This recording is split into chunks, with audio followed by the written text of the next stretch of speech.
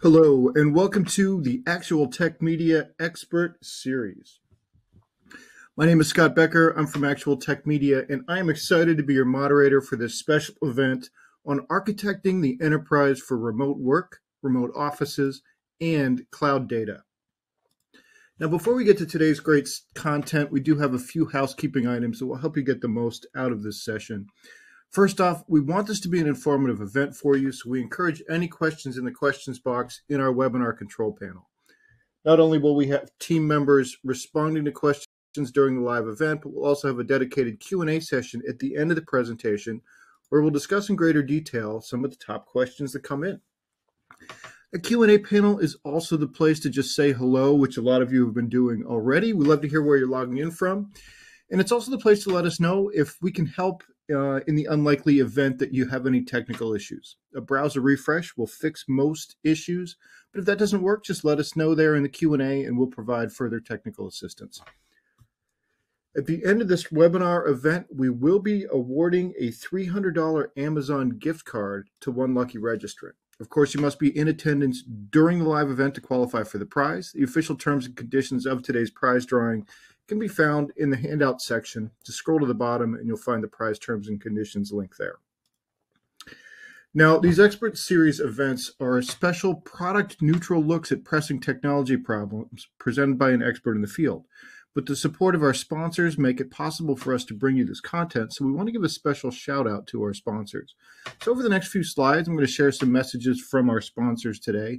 They'll refer to links that you can find in your handout section as well as on the slides. Um, and you can go into the handouts in your console at any time during the presentation to uh, check out those handouts.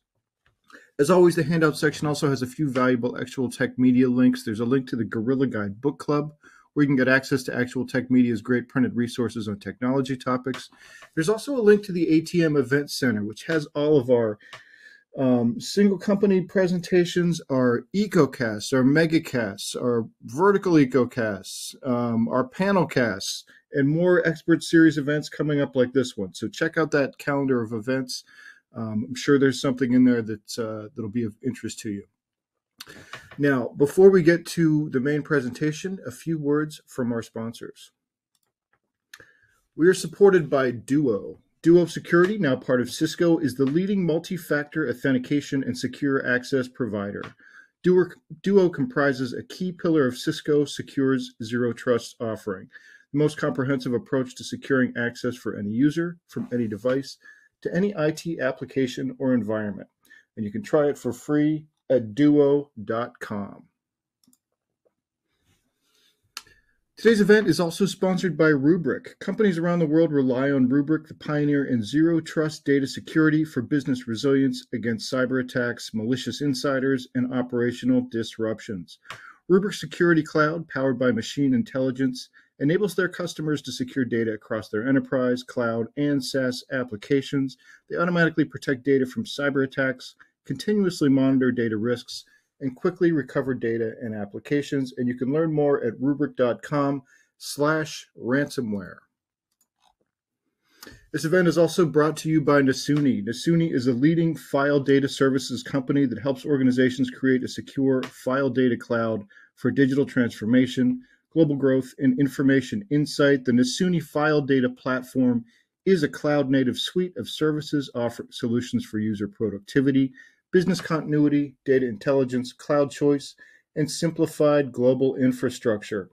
And there's a link there to learn more about Nasuni. And again, all of these links are available in your handout section. This event is made possible by Palo Alto Networks. Getting started with ZTNA 2.0 shouldn't be difficult, overwhelming, or come with compromises. It boils down to alignment, mapping needs to the key concerns or challenges you face without requiring a massive architectural shift or business disruption. Join an upcoming workshop with Palo Alto Networks experts to get started on three key projects that will aid your ZTNA 2.0 implementation. And you can learn more at the link on your screen or in your handout section. And finally, this event is brought to you by Okta.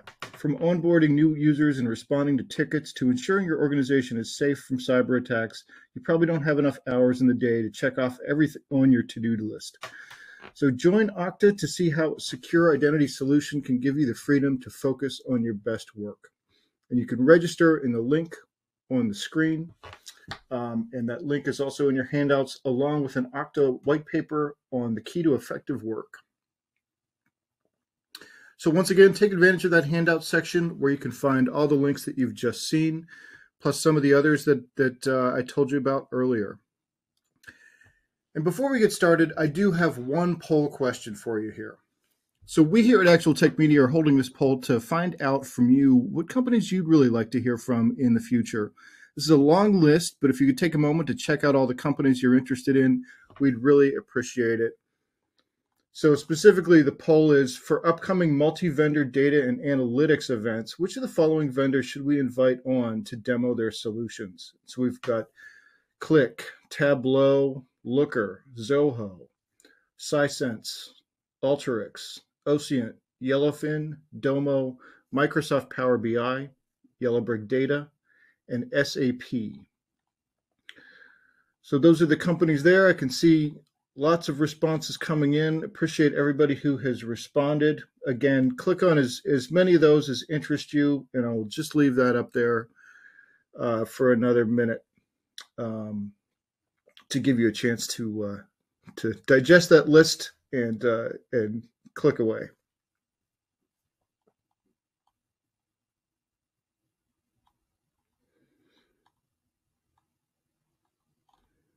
All right, response is still coming in. Really appreciate your feedback on this. It really helps us out in creating events that you will find valuable um, in the future, which is which is our goal to create events that that are valuable to you.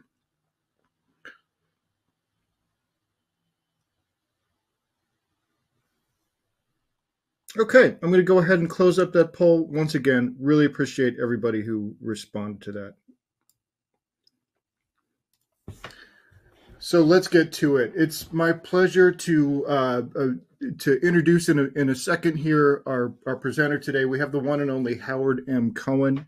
So Howard has tons of experience in the IT industry and the channel across technologies. And I work with Howard as often as I can book him uh, for events because he's such a great speaker. But rather than go through all that he's done, I'll just say this. What I really appreciate and value about Howard is his ability to think through big topics and provide a comprehensive, realistic, and valuable overview of any IT trend that intersects with business. And I think you're going to find that Howard's got a lot of great insights about remote work, which is one of those big topics. Um, and I know I'm looking forward to sitting back and listening to you, Howard. Howard, welcome to the expert series. Appreciate you coming on. Well, Scott, I appreciate that introduction. Thank you. Uh, and welcome, everybody. Um, today's presentation, as Scott has already told you, is entitled Architecting the Enterprise for Remote Work, Remote Offices, and Cloud Data. Um, those of you who have attended any of my presentations in the past know that I like to start each presentation with a word of the day. Now, to get to today's word, we're going to have to go traveling through time a bit. We're going to roll all the way back 26 years ago, 29 years ago, excuse me, to um, 1994.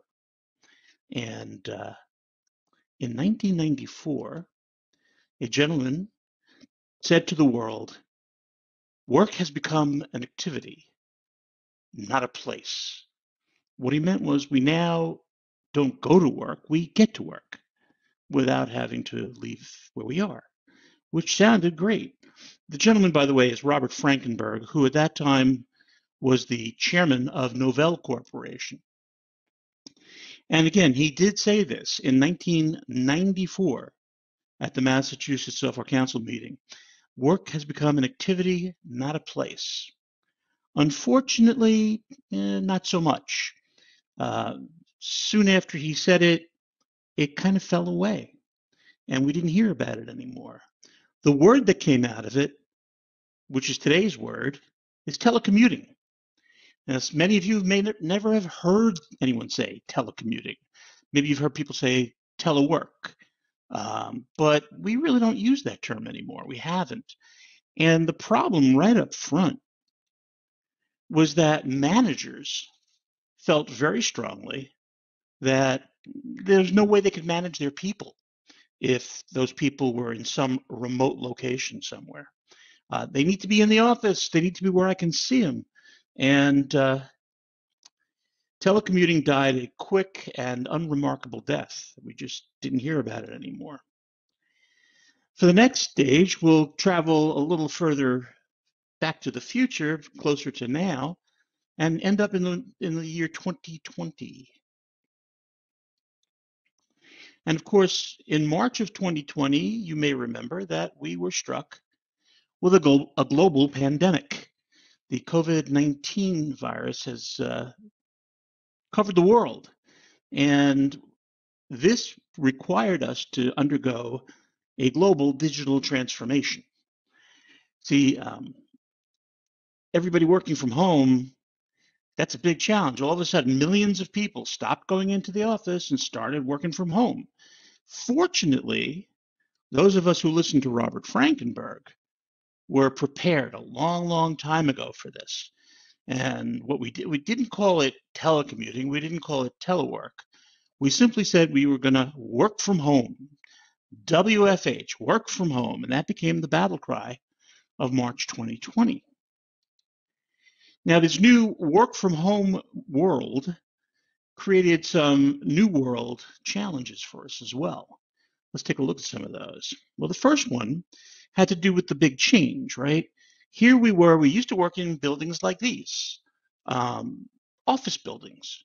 And most everybody in our employ was in that building, connected to our network, in front of which we put a firewall and an intrusion prevention system and a whole bunch of other um, measures to make sure that the building was secure. The name of the game was to protect the threat surface. Sorry. To protect, let's try that again. To protect the threat surface. I'm not doing well, am I? Okay, so the magic ring is supposed to represent a ring around the building that protects everybody in the building. Um, the threat surface, of course, also refers to a bunch of uh, digital realities, but for the sake of our presentation here today, the building represents the threat surface and everybody's in it together. So it's kind of easy to protect them all in one place. The threat surface, as you've already seen, changed pretty radically uh, the moment everybody started running home. Now, all of a sudden, we had a user sitting out here in Jersey, and another one up in northern Jersey, and another one down in Jersey City. We had a few in Brooklyn. Um, I know we had one oh, living in Murray Hill, and they were all over the place. We had users, users everywhere, and then and we had to protect them all. Another concern that came out of this big move to home had to do with data. Where are we going to store the data? In the past, we stored it in servers on site. Unfortunately, our own premises were compromised. We couldn't go there. We were not allowed to, we had a shelter in place, so everybody was staying home. Our premises, represented by the orange dot at the bottom, were no longer the best possible choice. Now we could choose from putting our data in a public cloud somewhere, perhaps a private cloud that we had located somewhere, or a hybrid of the two. So we could store the data in any of these clouds, but then how do we secure the data? You can store it, but can you secure it? And of course, by that time, people already knew that cloud was actually much safer than on-prem, but we won't dive too deeply into that argument. Another problem that was created in this new world was that literally everything became a potential threat. Our own networks were a potential threat because they were now stretched out all over the place. We had systems that were easily compromised because they were not protected by that big major firewall. We had applications that were being compromised. We had data files being compromised, corrupted, encrypted. Um, everything, everything had suddenly become much more of a threat than ever before. And while we're talking about securing everything, we also had to worry about our users, our people, and how are we going to equip them to get their work done? to, to access the resources we were making available to them over the network and to keep in touch with each other, work together with each other, and keep in touch with us. So these were all tremendous problems. And of course, we had that same age old problem that um, they faced back in 1994. Managers were still asking, How will I know they're working? You know, basically saying, My people are completely untrustworthy. If I'm not over there snapping the whip at well, no, seriously. There was always a big concern that people wouldn't be working if they were working from home. They would be watching TV, they would be having snacks. So that became a problem. This was all based on an age old adage that the farmer's shadow, the farmer's shadow, is the best fertilizer. That means that if the farmer can cast his shadow over a field, well, that field will grow. But it needs his shadow. I say that's hogwash. That's nonsense. Okay, we found many great ways of tracking work as long as people stopped measuring the clock and started measuring results, the outcomes, the things that got done. But we'll talk more about that after we travel, this time right up to the present. Here we are in 2023, and we found out some really great things. First of all, we found out that people were really happy working from home. 97% of them, after it was all over, here we are in 2023, they still want to work from home, at least part time. They'd like to shuffle back and forth between the two if necessary, but clearly work from home was working for them. Of course it was. They didn't have to commute, which is miserable. They were spending less money on going out and buying lunch and on dry cleaning their clothes. Uh, it was less expensive. And, and this is the part that really got to everybody, they started working, most of them started working when they would ordinarily leave for work, meaning that the entire time that they would commute, half an hour, an hour, more, they were working. And they wouldn't stop working until they arrived home, their you know, usual uh, time to arrive home. So again, the commute coming back the other way. They were actually working more hours at a more relaxed way than they ever had before. And that created no surprise on the management side. As a matter of fact, 94% of managers surveyed tell us that productivity was at least the same, if not better, when everybody was working, started working from home. So the employees like it, the employers like it, and by the way, the employers, 90% of them want to work from home at least part time as well. So everybody suddenly liked working from home. Telecommuting, not so much working from home, that was the magic ticket. And so we take a look at how and what we had to do to get the world spinning once again in this working from home environment. First up, we had to worry about endpoint security. Every endpoint is now remote. Somebody's working on their laptop computer or a laptop they brought home from the office, or they're working on their kids' home computer. I mean, there were all kinds of uh, jury rigs at that point. People were working on whatever they can get their hands on. So we had to make sure that every endpoint could be secured. Now, this was not like BYOD, right? You bring your own device and IT is expected to secure it. No, IT was very specific about what you could and couldn't use. Now, IT really couldn't. IT really couldn't dictate what was acceptable and what was not. We needed to mm, you know, do everything we could possibly do to make it possible for people to get to work from home. Some of those devices that they took home from work, they brought back if they left the company. Now, those devices had to be recertified so that we were sure that they didn't do anything to it that made it unqualified to connect to the network. So that was a new process that had to be created. Then there was the problem of the devices themselves. You know that if they're using their own device, they have some personal data on it photographs of the kids, you know, contacts, what have you. And we needed them to have corporate data on there as well. The most important thing, though, is that the two don't mix. So we actually had to build a firewall between the two.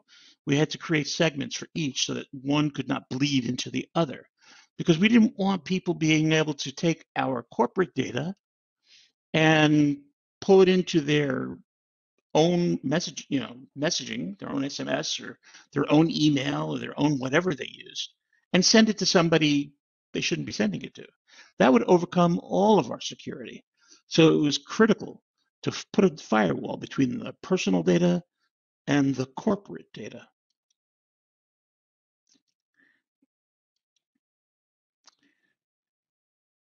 Not only the people involved, but also the, the, the devices themselves had to be authenticated.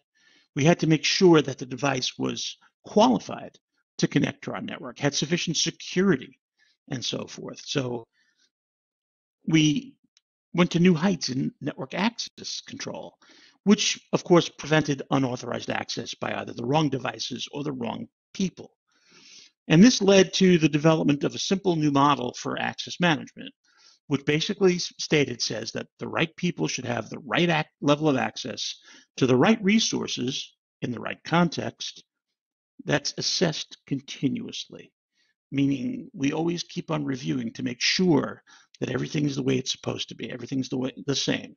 And all of this had to be done with the least friction possible because while we want to make sure everything's secure users really want to make sure that everything is easy to do.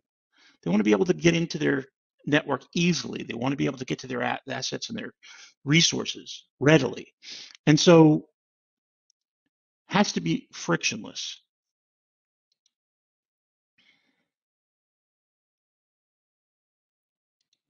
Here we go. This gave rise to a change in the way we looked at devices and people and data assets and other objects. Uh, it used to be that the difference between a trusted object and an untrusted object was assessed at the network perimeter. That is to say, if it had the right IP address and if everything checked out technically, then it was trusted. Otherwise, it was untrusted. Unfortunately, that's kind of like the castle and moat approach, right? So if you've ever built a castle, you know that the first thing you want to do is to put a moat around it so that it's hard for anybody to get in unless you want them to. And if you recognize them, if you know who they are, you'll drop the drawbridge and they'll be able to get in, no problem. But that moat created a nice layer of protection. Well, the digital equivalent of that is the firewall that you put up between the internet and your internal network. The internet interpreted all those IP addresses, determined which ones should be allowed through and which ones should be kept out. And by the way, vice versa, which ones should be kept in and which ones should be allowed out as well. So you had protection both ways. But again, this proved to be insufficient over time. We needed a new way to make sure that everybody was who they said they were before we let them add our network. So we had to figure out a way to provide a platform upon which we could trust each other. It was all supposed to be built on trust. Now, if you know, think about the word trust, those of you who remember our 40th president, Ronald Reagan, he loved to say trust but verify. Trust but verify. Sounded great, right? We take that a step further. And what we say is never trust, always verify. Never trust anything. Nothing is what it says it is until you've proven that it is what it says it is. Now, this was a way of achieving a certain level of trust, that level being zero. Zero trust. Okay, if we embark from zero trust, we trust nothing and we examine everything we verify everything. So whenever someone or something tries to connect to our network, we're skeptical about who it is and what it is, so we prove it to ourselves. Zero trust was defined for us by a gentleman by the name of John Kindervag. John was working at uh, Forrester at the time, and he basically said, look, the first thing you want to do is you want to define your what he called your protect surface. I call it your threat surface. What do you need to protect? What are the objects that are out there? Um, then where is the data going? How does data move from one object to another object, from a server to another server, so forth, or user? Um, how does that system work? Once you've done that, now you start to architect the environment so that it works more efficiently, putting the controls as close as possible to the threat surface. For one thing, so that you eliminate latency. You can solve problems more quickly. And he was very fond of the idea of creating micro perimeters, places where you could continuously check everything before it got through. Now we create our zero trust policy. Uh, he suggests using the Kipling method. Rudyard Kipling loved to approach everything by asking who, what, when, where, why, and how, the W's. And so he adopted that for the examination of a network and the data running on that network to create a zero trust policy, which is in turn enforced by a variety of products, which we'll review in a moment. Um, finally, he stressed the importance of continuous monitoring and maintenance of the environment. Uh, there's all kinds of wonderful telemetry equipment out there. There's great artificial intelligence and machine learning software that can help us, all kinds of analytics software. And once we've used it to gather the information, the best thing we can do is automate responses to it. Automate the responses because the more we use automation, the faster the resolutions are and the more gratified and satisfied our users are. So Kindervag said that everything begins in the middle with identity security because we're going to qualify everything based on identity. Uh, then we worry about the security of our data. Then we worry about the security of the applications using our data and the devices that are running those applications. And finally, the network that all of this is running on. So Kindervag told us begin by assessing everything. Know exactly what you have in your current state an inventory of all your devices, all of your endpoints, all of your applications, workloads, everything, user communities. Then start to plan your initiatives. What are you going to do to move to a zero trust environment? And while you're doing that, pay close attention to the interdependencies between things. Things can either be tightly coupled or loosely coupled. If they're loosely coupled, changing something on one part doesn't necessarily affect the other parts. And that is better. That is less vulnerable. So we want to try to limit the interdependencies, but be aware of them so we can handle them properly. And of course, assess all of our possible risks and figure out how to mitigate each of them. So that was the general approach to zero trust. And then he, Kindervag told us to create a roadmap a roadmap that begins with identity, follows on with workloads, the devices, the networks, the people, the culture of those people, and finally, the data. What's your roadmap for laying out where all of this is going to be? Forrester totally agreed with their former employee, saying that a detailed roadmap is vital to achieving zero trust. Excuse me. And so they describe the zero trust roadmap in much the way that Kindervag did. Begin with identity, workloads, devices, networks, people, culture, and data. Let's take a quick tour of that. Beginning with identity. We'll be using identity and access management systems, IAM systems, to manage and govern all of our identity control. Um, by knowing who someone is and what device they're using, we can then grant them access uh, to whatever they should have access to. Um, this begins with automated onboarding uh, so that you have the same process every time you bring a new employee on. So you get them into your identity and access management system and your directory management, your, your naming directory management, and so forth. Um, you also need to automate your offboarding. When somebody comes on, you want to make sure they have a great first day uh, experience, that they get everything they need right away and they're ready to go to work. They don't sit around waiting for things. When they leave, you want to make sure they're gone. and they don't have access to your network a minute beyond the moment they walk out the door. Many companies have discovered quite the opposite. They have people who left long ago who are still able to access their network, and that's damaging. Everybody should by now be using multi-factor authentication. It's a simple, simple thing that combines something the user knows, their password, with something the user possesses, like their mobile phone, on which they get a six digit code to add to their password to gain access. So multi factor authentication is a must at this point. Giving people conditional access is a must. Uh, you don't need to give people access to anything they're not going to use. So if somebody in the sales department is not going to get access to accounting records or design records or manufacturing records and vice versa. Many companies have chosen to use a single sign-on platform so that people don't end up writing their passwords on sticky notes and putting them under their keyboard or, God forbid, in front of the monitor. Um, too many people doing it. Too many people still using the word password as their password. Uh, is very, very vulnerable.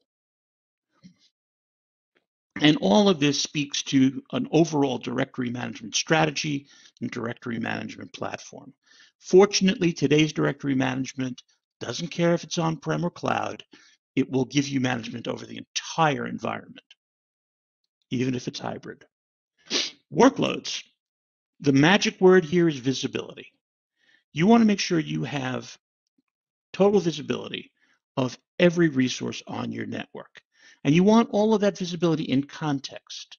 You want to know where that, that resource is, what it's being used for, who's using it, using what applications, how often is, I mean, there's plenty of information you want so that you're sure you know exactly what's happening with each resource. You want to make sure, by the way, to save yourself some time and effort, to use role-based access control in your roadmap to zero trust. Uh, RBAC is great. If you have a thousand users and you have to make a change in somebody's security in security for everybody, that's a thousand places you have to stop and make the change. I don't know about you, but I have no desire to do something that's that repetitive and that tedious. With role-based access control, you have everybody arranged in groups. So let's say you end up with 10 groups of about 100 people each. You go to each of the 10 groups, make the change, and all the people in each group will get the change. I'd rather do 10 than do 1,000. Use your own numbers to imagine just how bad it can get. Also, we're seeing a major shift from using best of breed tools to using best of platform. Uh, find a platform that really, really works for you, that you're really comfortable with, that does all the things you needed to do. And the good news is it's unified. The tools are all over the place. You don't know it. You have to learn each tool. If you're using 10 tools, that's 10 trainings and 10 support agreements. And who, you know, how many people are going to know that tool? If somebody leaves and they're the only one who knows the tool, you're up the creek. So you know, tools is not necessarily the best strategy. From a corporate standpoint, we prefer to use best of platform. The devices themselves, again, visibility. You have to be able to see every device that's on your network. I've been in so many environments where IT managers were shocked to find out about devices that were connected to the network that they knew nothing about every device has to get authorization before it's allowed to access. This way, you do know because you've had at least one point of contact with every device that has joined the network. There are also devices that don't have users. As way out at the edge of the network, you have IoT devices like sensors and switches and other controls. There's no user involved. It's just a device sitting out there on the edge, connected back you know they're, they're they wide they vary widely in how well they secure themselves and how well they handle power and how well they handle everything you've got to make sure that every one of those devices is hardened sufficiently to make sure nobody can connect to your network through them yes people have been known to connect to a network through a sensor or a switch or a control sitting way out there on the edge of the network. So those have got to be adequately hardened. And of course, you want to be using mobile device management to manage all of your devices. Most especially, you want to be sure you're managing patch and update, right? Not every patch should be applied. You have to make that determination. No patch should be applied directly by a user. You're asking for trouble when you do that. No security update should be affected by a user. That should be centralized. That should be under your control. So in terms of the devices, you need to keep control over them. You need to monitor them, know where they are. If they get into trouble, you need to be moving on resolving that trouble even before the user detects the problem.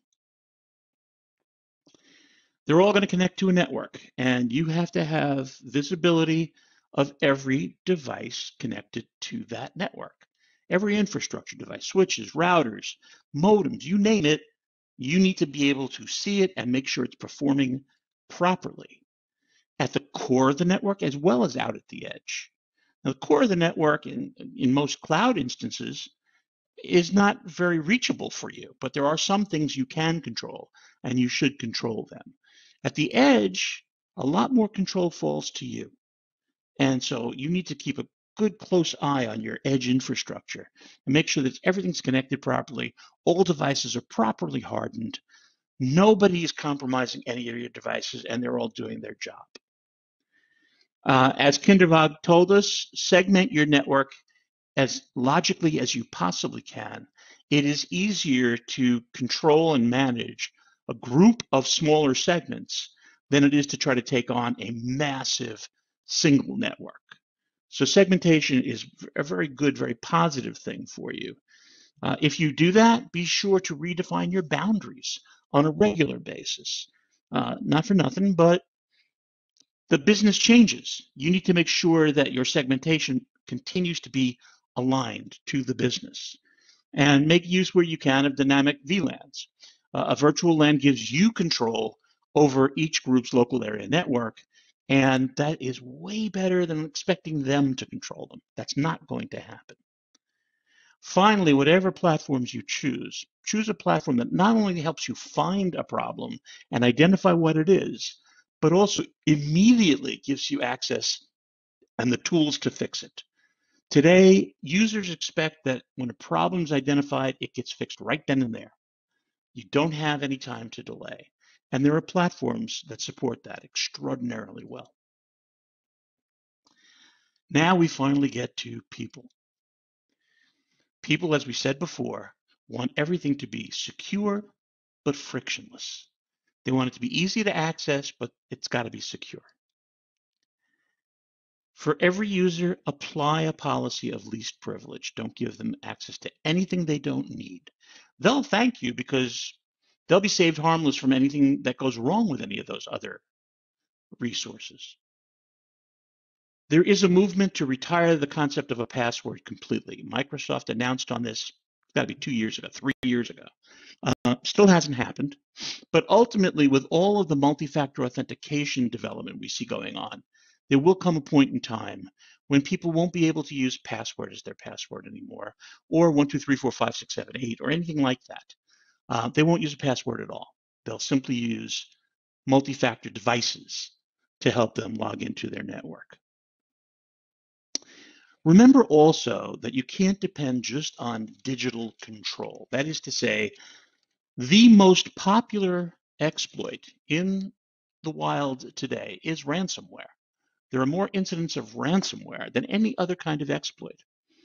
Ransomware begins with a phishing email phishing email shows up in somebody's inbox. It looks genuine. It looks like it comes from their company or their bank or their lawyer or somebody reputable and somebody trustworthy. Uh, but the fact is, it's not. It's a fake. It's a very good fake. They use all the right colors. They use all the right typography. Everything is looks exactly like it would if it came from the real thing. Somewhere on that email, there's a link that they're asked to click or a, a, an attachment they're asked to open. And when they do, they open the gates to Hades. everything starts coming through.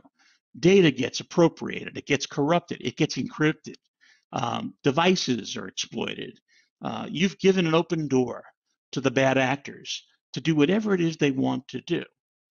And it's really an innocent action. You thought it was real, and you had every reason to think it was real. This is why training on ransomware is so critical because it is so difficult sometimes to identify a phishing email.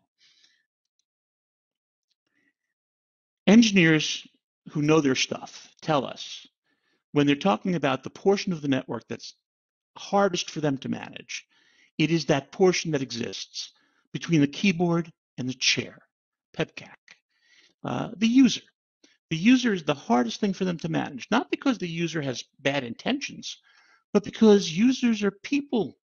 They're subject to emotions, they are subject to mood, they are subject to misinformation. The device does what it's told consistently, constantly. It does what it's told. People make decisions for themselves. And therefore, that is one area in which you've got to be extraordinarily careful to put up as much of a defense as you possibly can. Uh, people are your greatest threat as well as your greatest asset. And then finally, the data. The data is what it's all about.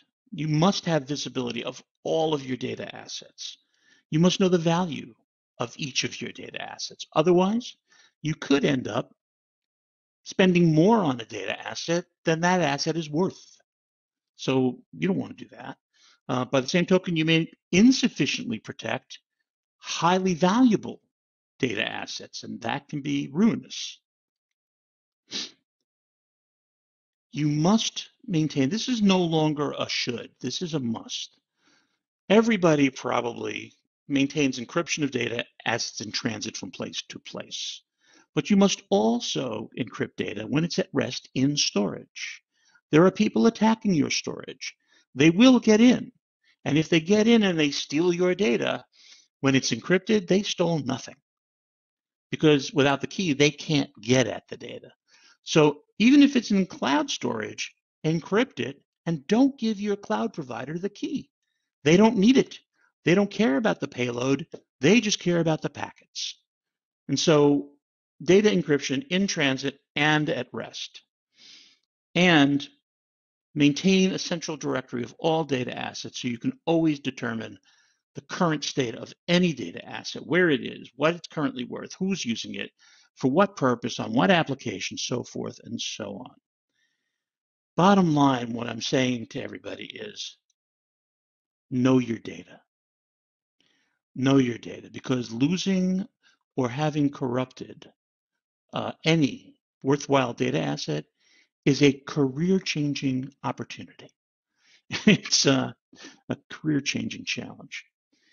And of course, as Scott Becker will tell you, uh, everybody loves bacon and everybody loves data. That's why data is the new bacon.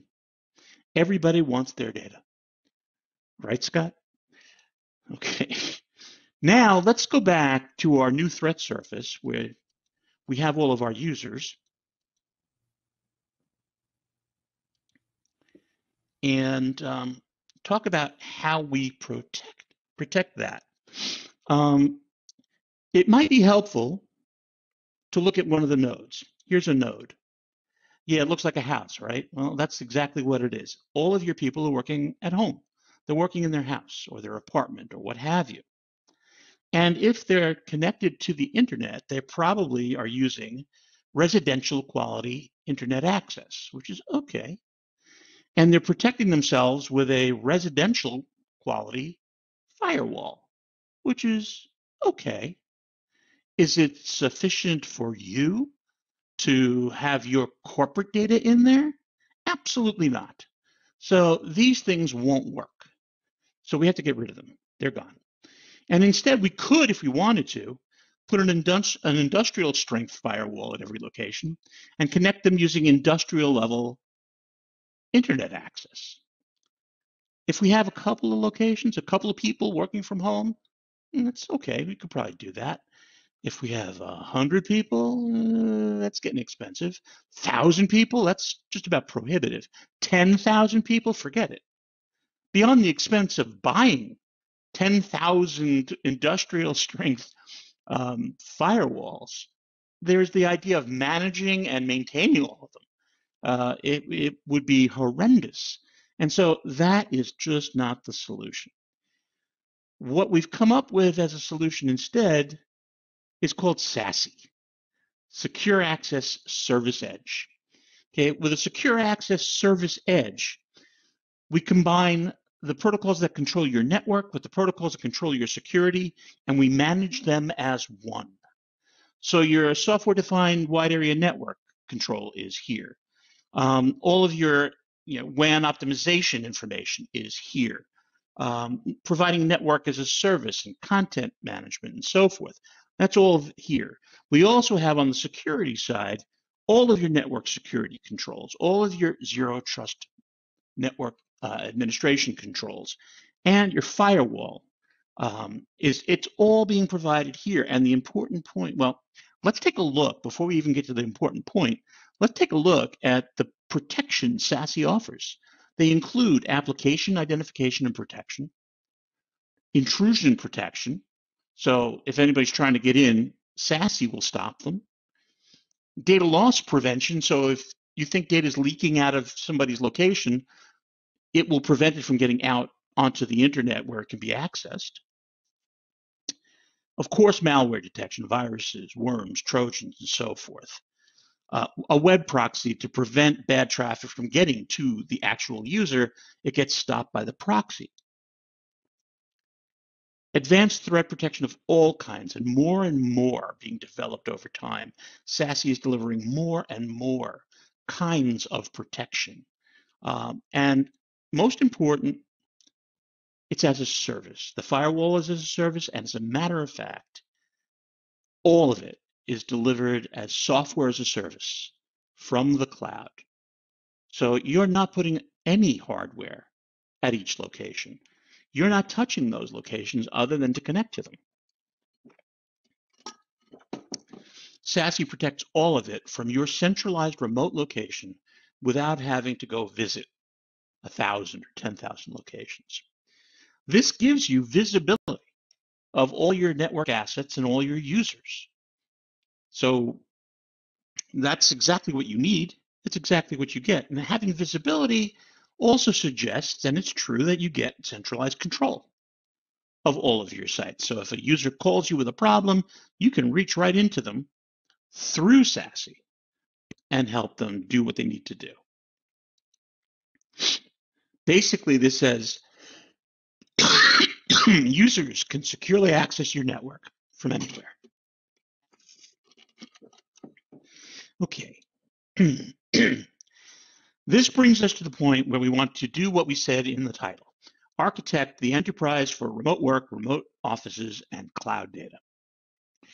And so we're going to build a little bit of the roadmap that uh, Kindervag suggested, uh, starting with an assessment of your current state. This is a comprehensive inventory of literally everything that's on your network or in your network. Workloads, data assets, the user communities, everything. You need a complete inventory of everything. Once you have that and you come to understand it, you can start to define the desired future state. What do you want to be on the other end when you're finished making your changes? Which of your workloads is going to go where? You have so many choices. Where are you going to put them? Um, where are you going to store and secure all your data assets? And how are you going to monitor those? And how will users access everything securely but frictionlessly? okay, next step. How are you going to control user access? Whether a user is mobile, in the office, or at their home, you need to maintain control and over access for all users. They all have to be tested and verify themselves before they ever get access to anything. You'll use identity and access management with multi-factor authentication and password management. Sorry about that. Password management so that you constantly have them changing their passwords and using complex passwords as long as we're still using passwords. And device control, network access control to make sure that devices are what they say they are with the capabilities they need to have to get on your network. Now, finally, you get to choosing clouds. Uh, and when you're choosing clouds, you know, big consideration is cost. Uh, now that you can go multi-cloud, you can compare and contrast the cost of a given VM between any of the different cloud providers and pick the one that gives you the best service at the lowest price. That will change every day. It changes constantly. So you have to stay on top of it. You're also going to want to look at capacities. What kind of configurations can you get at a lower rate from each cloud vendor? And what services are available? There are thousands of services available from each of the hyperscaler cloud providers, the big guys. Um, some of them are named the same, but they're completely different services. Some of them are the same service, but they're named completely differently. It's very confusing, and you have to do your homework. You have to look at the service itself, not just the name of it, and come to know exactly what it is before you decide to add it into your environment. I mentioned that the prices are constantly changing. There are constantly special deals. There are constantly promotions. Uh, all of it is improving the environment. God bless the competition has all the hyperscalers and the smaller clouds, you know, working feverishly to make cloud services better all the time. But you need constant cloud cost control to keep track of all those changes and take advantage of as many of them as possible which means you need to develop a, a superior procurement strategy. And how are you going to keep track of everything? How are you going to buy? Um, how are you going to make sure that you've got the best price at all times? Which means you're going to have to track all those changes. You're going to have to have a close eye on every one of the cloud services that you use and make sure that you're getting the best of breed from all of them, uh, no matter how much that changes over time. You're also going to need to do extensive resource mapping. What goes where? We've been talking a lot about data security, and I'll just remind you, you can't be reminded enough. It, it, encryption at rest as well as in transit. And a great backup strategy. A great backup strategy is more than worrying about um, having the data backed up. It's, it, it's a security measure. Your best security measure against ransomware, the most popular threat, is having a backup of the data. This way, if they get in and they encrypt your data and they offer to unencrypt it or de-encrypt it, um, decrypt it for, for a large fee, you don't have to pay that fee. You simply restore your backup and tell them to go pound sand, but nicely so they don't get upset and attack you again. Network security all your data rides on the network. So you have to be sure you're, you're securing every endpoint, every connection to the cloud, and every connection inside the cloud. These all must be carefully, carefully protected. Also, you want to provide for communications and conferencing, right? You want to provide a collaboration platform. This way, all of your users can connect with each other from wherever they are, see each other, speak with each other, and work on documents together so that they don't have to travel and they don't have to pass things along. They can do it in group rather than one after another after another. When they do it in serial like that, that could take weeks. When they do it all at once in a, in a collaborative video conference, it gets done that day. So you vastly accelerate the process by using a collaboration platform. Your communications will probably be based on unified communications as a service delivered from the cloud. Uh, these are extraordinary services that uh, formerly everybody thought they were just a good replacement for PBX. They're much more than that today. They can be the central hub of all of your communications and all of your systems control as well. So, you know, do some deep dives into UCaaS and make sure you've developed an extremely tight support strategy. The last thing you want are users to be to become frustrated. Um, there's nothing worse than an unsatisfied user because if you want to have a great customer experience, you first have to have a great employee experience. Uh, you don't want an unhappy employee connecting with customers. And finally, we talk about replacing the farmer shadow. Uh, the farmer shadow is, you know, is non-existent, but people believe it's a real thing. So we're going to use workflow automation. So everybody checks in and checks out for everything that they're doing. This makes it better, better to have those users working at home because now suddenly you're collecting data about when they started working and when they finished working. You can see how long things take them and how much faster they get over time or how fast they are compared to their peers in the team. Which is your fastest at getting something done? Which is your best at getting something? You have data to back that up. So workflow automation is a boon, not a requirement. Of course, if you're going to use it, you're going to have to be ready to measure results by, I'm sorry, measure everything by results, not by the clock. It doesn't matter if they work from 9 to 5. Some of them are going to be working from 7 to 8, 7 to 8 p.m., 7 a.m. to 8 p.m. because of their commute. Um, they're replacing their commute with work. God bless them. So measure their results, not the clock. If the work you need done gets done, that's a win. Also, you want to make sure that you have a great socialization strategy. And we're going to just touch on that before we go.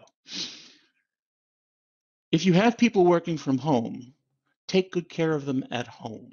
Help them prepare a great home office. Okay, that includes a roomy work surface,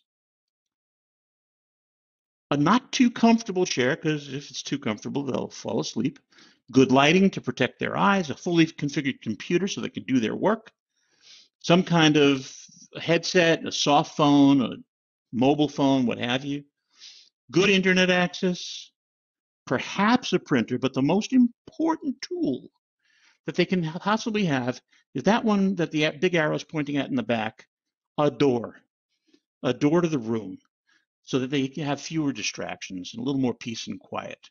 Those of you who have worked out in an open space in your den or your living room, you know what I'm talking about. Once you move into a room behind a door, you'll never go back. What I'm saying is manage the whole person. Nothing is more important than managing the whole person their, their emotional life, their interpersonal life, their professional life, everything.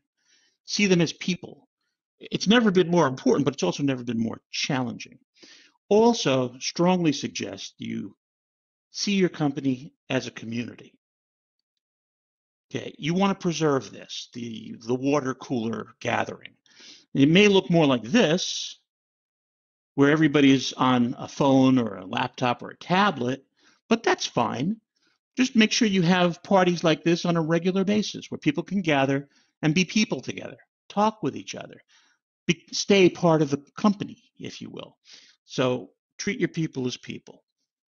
So my key takeaways are very quick, very brief. Plan first, then deploy. Don't try to build it step by step and make mistakes and go back. That will cost you. Trust automation to track your results and your outcomes and stop worrying about the clock. It's not your problem anymore. Never trust, always verify. Can't say that often enough. And the most important thing is to connect and keep your people connected.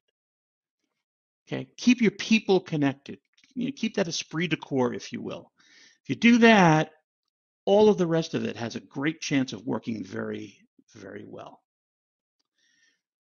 Scott, uh, I believe next up is questions and answers, or you know, it looks like we may not have time.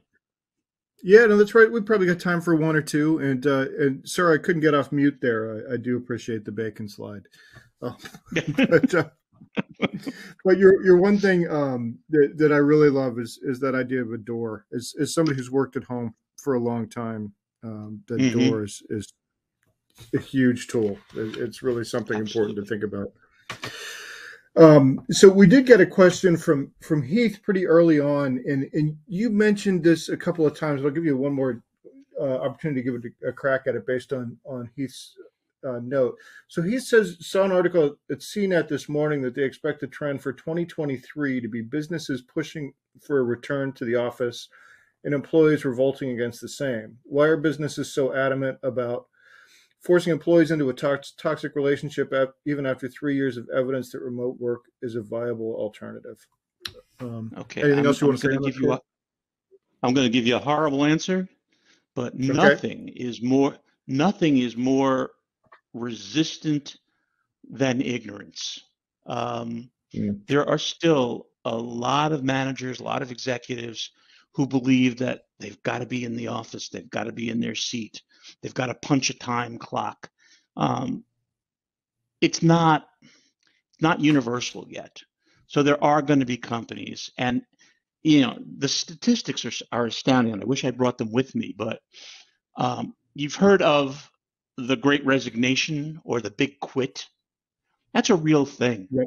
More than 50% of employees who tried to continue working at a company after they said, nope, you got to come back, they left.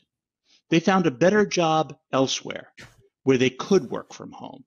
More than half. Now you think about that. These ignorant managers are shooting themselves in the foot because they're losing their good people and there are currently 4 million open job requisitions in the IT industry worldwide. 800,000 of them are here in the States. So, with that many people looking for a job, it's not likely that the manager who loses somebody is going to find somebody all that quickly to replace them with. So, I think that the, the, the motivating factor, Heath, is ignorance. These people are not looking at things for what they are. Uh, and at some given point, they'll either lose their job or they'll see the light um, because this is here to stay. we are we are more about there's a concept called placelessness. Uh, the more we move forward, the more we seem to move to a place where it doesn't matter where you are. Nobody cares where you are. They just care that they can connect with you and communicate with you. A lot of people are getting used to talking to each other over video. Um, you know, I think it's going to change radically, but there's going to be plenty of people surveyed who still say, nope, they got to be in their chair. Um, I don't know what, you know, I think we just wait and see.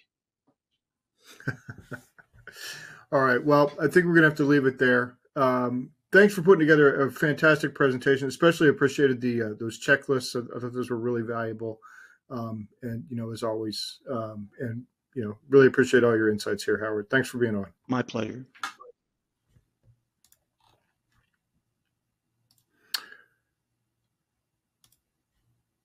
And now it is time for the prize drawing for the $300 Amazon gift card. And the winner is Mite Akdugan from California. So, congratulations to Mite.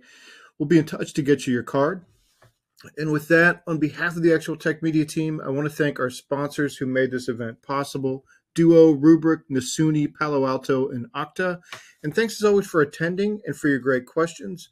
That concludes today's event. Have a great weekend.